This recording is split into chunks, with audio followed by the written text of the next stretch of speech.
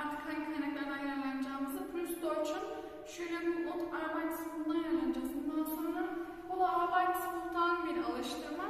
Ee, şu an bunu bilmeniz yeterli. Zaten ben size adresini falan vermiştim. Oradan indirebilirsiniz telefonlarınızı demiştim. Şimdi başlayalım. Çalışma kitabımızdan atladığımız yerler vardı. Bugün onlara bakacağız. Haftaya gramer konularıyla devam edeceğiz. Daha sonrasında da eee kaldığımız yerden devam etmeye çalışacağız. Şimdi bugün çalışma kitabımızdan devam edeceğiz dedik. Bakıyoruz ilk alıştırmamıza. Ne diyor? Güzel, se, bauen, güzel, se, bauen, cümleler kurmak demek.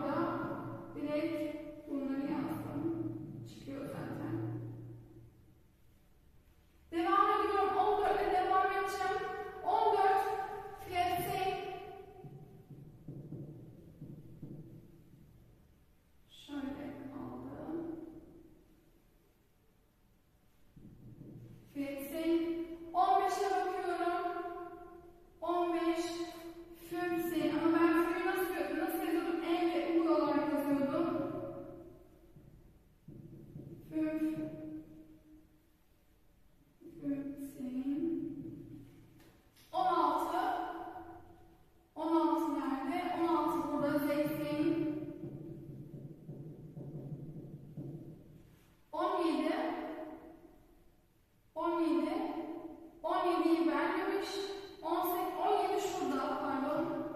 0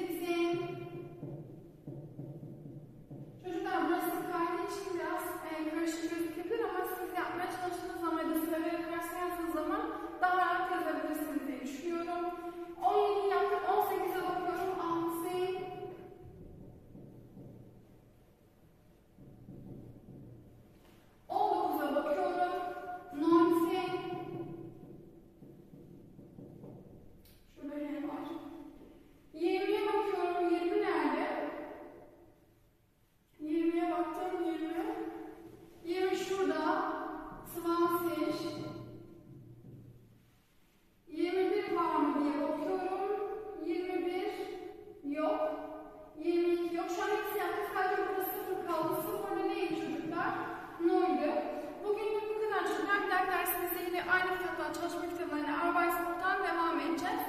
Siz de bu konuları tekrar etmiş olursunuz. Kalıpları tekrar görmüş oldunuz. Notlarınızı alabilirsiniz. Ee, konulardan geri kalan arkadaşlarım tekrar yazabilir, internetten de araştırabilirler. Şimdiden teşekkür ederim. Kendinize iyi bakın. Görüşmek üzere.